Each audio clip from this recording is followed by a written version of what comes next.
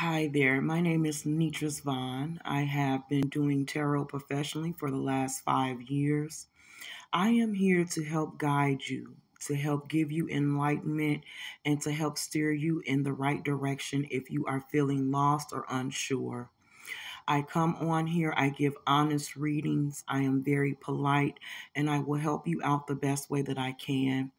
Please don't come here being mean or wanting to unleash your anger. This is not the place for it. We are here to help and to guide. Thank you so much for allowing me to do your reading. I look forward to meeting you and doing your reading for you. Thank you so much for coming to Purple Ocean, Purple Garden. We are here to help. We are glad that you are here. Anything that we can do to help you, we will. Okay. So thank you so much for coming and enjoy.